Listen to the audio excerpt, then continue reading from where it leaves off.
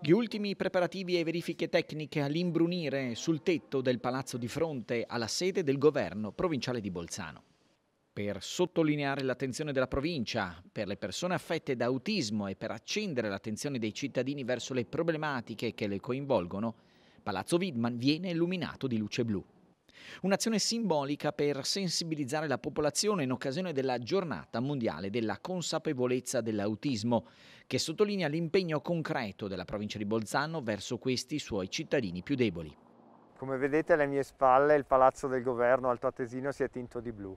Ritengo che sia giusto focalizzare l'attenzione su un tema così importante come quello dell'autismo, un tema che colpisce non solo adulti ma anche ragazzi, bambini, è un disturbo che è caratteriale, sociale e comunicativo e io credo che una buona politica non debba solo fare parole, non debba solo sottolineare cose come queste, anche esse giuste, ma fare i fatti. E noi con il nostro assessorato eh, stiamo facendo i fatti anche a Brunico, stiamo dando vita a un centro per ragazzi che soffrono di questo disturbo e mm, abbiamo dato il via al progetto e alla costruzione di un edificio, si chiama Waldheim ovvero dal nome Casa nel Bosco, dove i ragazzi possono vivere in un ambiente protetto ma allo stesso tempo la loro libertà.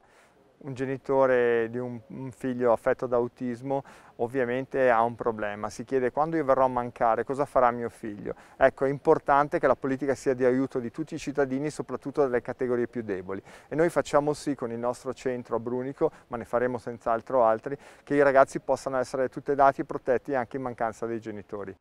Quando saranno terminati i lavori di adattamento all'edificio Waldheim in Pusteria, il centro sociale Traia di Brunico vi si potrà trasferire quindi potranno iniziare i lavori di ristrutturazione e l'ampliamento dello stesso centro.